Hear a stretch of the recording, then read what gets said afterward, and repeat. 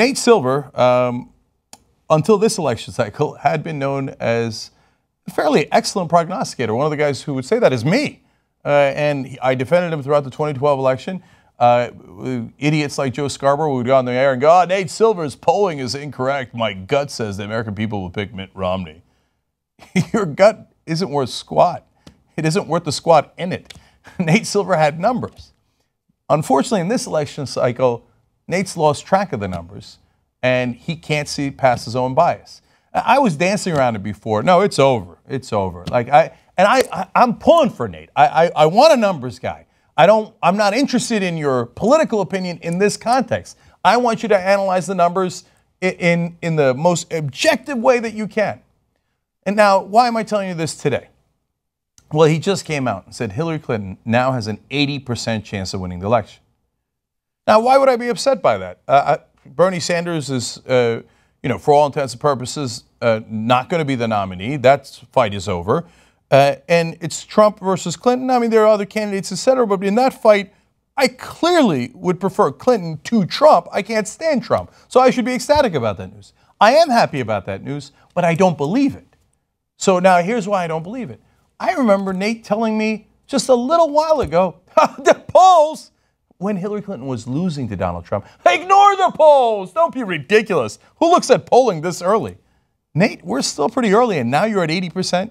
You were at 0% just a little while ago. Now you're at 80%. Wow. Okay. He said, We're kind of half, at halftime of the election right now, and she's taking a seven point, maybe 10 point lead into halftime. There's a lot of football left to be played. She's ahead in almost every poll, every swing state, and every national poll. Again, you just take a snapshot of time. That is true. But this is the same guy uh, it, that on last month in May, to be fair, this is now June 30th, that was May 10th, so at least a, a, a month and a half, right? And things change, I understand that. But back then, just a short time ago, he wrote about the polls showing Donald Trump leading Hillary Clinton, quote, for fuck's sake, America, you're going to make me go on a rant about general election polls in May? So in May, the polls meant nothing. But in June, the polls mean everything. So again, back then, he sends out these tweets. Uh, he says, uh, the election will go through twists and turns, and the polls are noisy. Don't sweat individual polls or short term fluctuations. One month, uh, the polls are noisy. The next month, they're apparently completely quiet. We got to figure it out. Wait, the election's in November. That's what you were telling me in May. Like, oh my God, the election's in November. What are you, stupid? Look at that polls. And in June, ah, the election's are around the corner. It's in November. so all of a sudden, the polls are not noisy. One more tweet from back in May. He said, it's usually uh, not worth it uh, to diagnose why an individual poll derivates from the consensus. Think macro, not micro. Look for robust trends. See, when his candidate, Hillary Clinton, and Nate, let's come on, who are you kidding, man? You backed Hillary Clinton so hard and you twisted every poll uh, during the primary coverage to make sure that it looked like she was leading and it was definitely, definitely going to win. I mean, you should, I mean, you're really going to vote? Because she's definitely going to win. I know you don't think that. I know you think, oh, that's crazy. I'm just looking at the numbers. That's crazy. But here it is. In May, your candidate, Hillary Clinton, is losing. The polls don't mean anything. They're just noisy. It's, it's in November. It's ridiculous. Fluctuations. Uh, no, no, no. You're thinking micro. You need to think macro in, in the next month in June, oh, this election is 80% over. She has an 80% chance of winning. Everybody go home. What are you getting all excited about? And conveniently, look, it's not a cabal. and they didn't get together with the rest of the mainstream media. But they all think alike. It's groupthink. That's what I'm trying to, I know you don't think I'm trying to help you, but I am. I'm trying to help you to break out of that groupthink. You're in New York or DC, wherever you are, and you're in that bubble. You're right in the middle of the bubble. Okay, Hillary Clinton's going to win. She's going to win. She's going to win. She's going to win. She has to win. She has to win. It can't be Sanders. It can't be Trump. It's got to be Hillary Clinton. She's winning. She's winning. Everybody go home. That's what they did in the primaries. Now that's what they're doing in the general election. Remember, I'm against Trump. I want Trump to lose. I hope you're right. But I want you to be fair and honest. I want you to be objective because lulling everyone into a false sense of complacency doesn't help. So when you when Trump is up to dismiss it like ah it's not important, it's not a good idea. And when Hillary Clinton goes up to say oh, it's already over, not a good idea. But I'm not saying that out of politics. I'm telling you right now that you want to know my opinion? I said it back in May, uh, and I'm consistent in June. The polls do matter. They show you a snapshot in time. Of course, we know it's a snapshot in time. But the fact that Trump was tied and, in fact, had pulled a little ahead of Hillary Clinton in those polling in May, that was amazing. This buffoon should be, I mean, at least 10 points, maybe 20 points behind Hillary Clinton. But even today, there's a poll out, Quinnipiac, where she's only leading by two.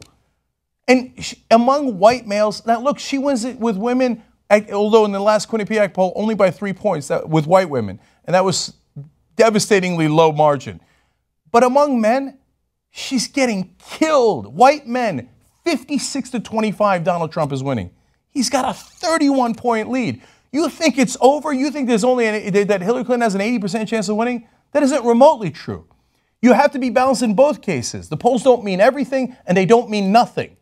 If Trump's lead in May didn't mean nothing, it meant something. And right now, Hillary Clinton's lead doesn't mean everything, it means something. You've got to be honest about it. So, all right, one last thing from Silver. Now, remember, Silver uh, gave Trump a 2% chance of getting the nomination. Uh, that's what we in the business call oops. Later, he apologized for that, saying, oh, well, I got that one wrong. But I read the apology. 80% of that was like an Akon song, right? Blame me, but actually, I blame you.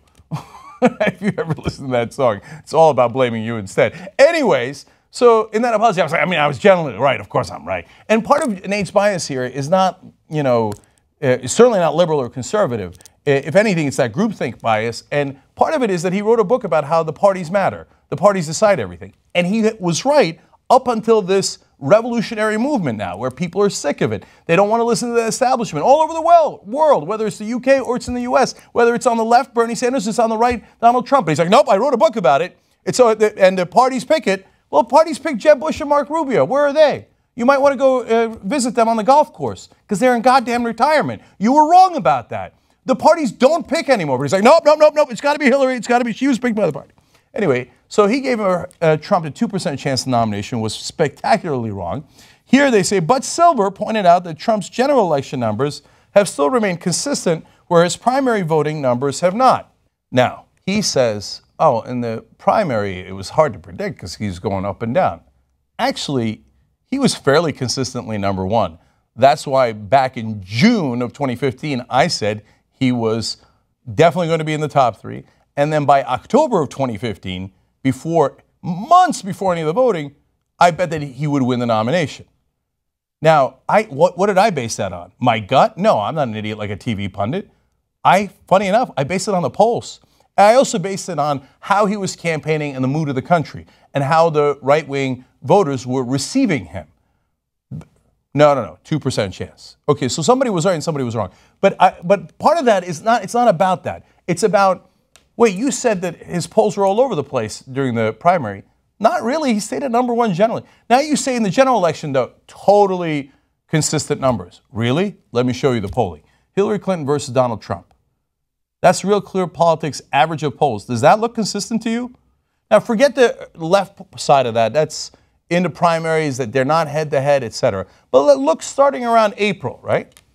What the hell is consistent about those numbers? Hillary Clinton's got a big lead. Donald Trump dips, then he rises, and then he rises more, and then he passes her, and then he dips again. What part of that is consistent enough for Nate Silver to say that? No, that's it. Well, let's wrap this election up. Hillary Clinton has an 80% chance to win. Wrong again, Nate. So I hope that I help in an effort uh, to be objective as we can. And I know that they will never accept that. They'll say, oh, no, you're progressive, so you support certain candidates and you're biased in favor of that. No, there's two different things. What do you believe politically? And I'm very clear about that. And what do you think is going to actually happen? That is entirely different. That analysis is one that we hope we do certainly honestly and hopefully truthfully. Hopefully, we arrive at the truth, but we try real hard. And we'd like everybody else to do the likewise instead of just going with their bias. I'm especially mad because I expect better from Nate. He's supposed to be the guy that we could turn to for facts. Let's get back to that.